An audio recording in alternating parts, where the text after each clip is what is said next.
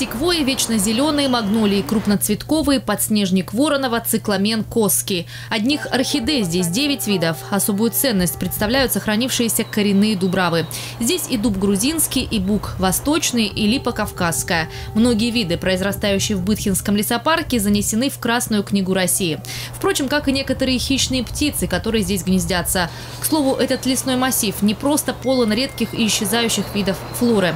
Ко всему прочему, он укрепляет склон, а эта территория, как известно, оползневая и сейсмоопасная.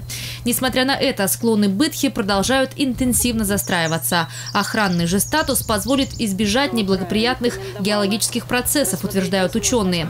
На месте побывал и мэр курорта. Анатолий Пахомов поручил облагородить лесопарк «Благодать» и сделать его более комфортным для отдыха горожан. И в будущем, после придания охранного статуса, э, тут э, Анатолий Николаевич поручил разработать э, туристический экскурсионный маршрут, который будет очень ценной новой э, визитной карточкой города, потому что у этой территории есть еще и историко-культурный компонент. Общая площадь территории, предлагаемая для придания статуса памятника природы местного значения, 100,5 гектаров.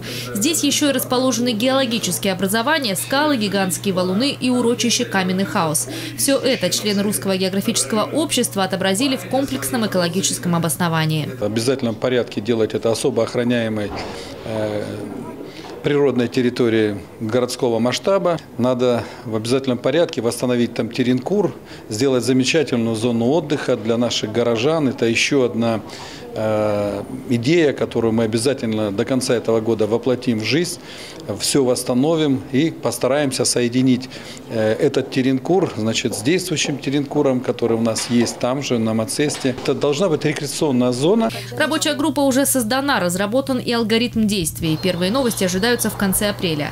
К этому времени свою часть работы должны выполнить специалисты Управления земельного контроля города. Ольга Десятого, Инга Габеша, Алексей Давыдов, телекомпания «ФКТ».